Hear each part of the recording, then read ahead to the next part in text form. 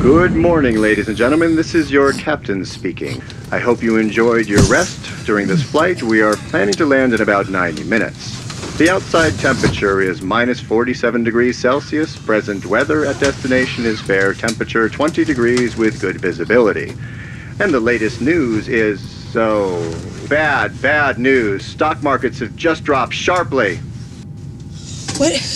What's happening? Your money. My money? What the fuck?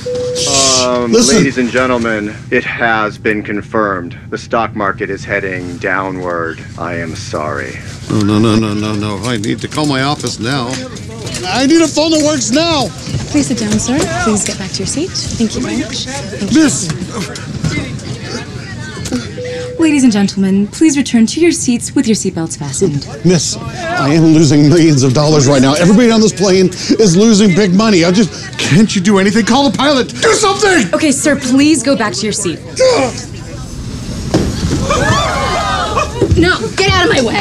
Listen, bitch, you don't understand. Call your fucking pilot and order him to land his ass now. Okay, please go back to your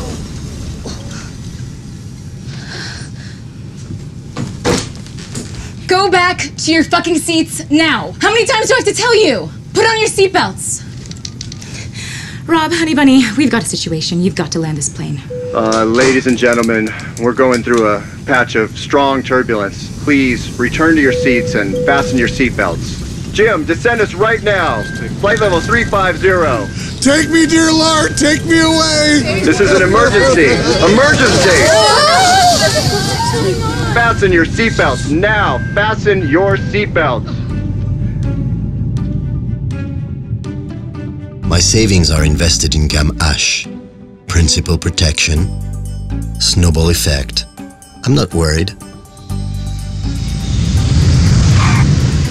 Go fuck yourself. Go fuck yourself. Go fuck yourself. Go fuck yourself. Go fuck yourself. Go fuck yourself. Hedios. The fees, the risks, the yields. It's all clear.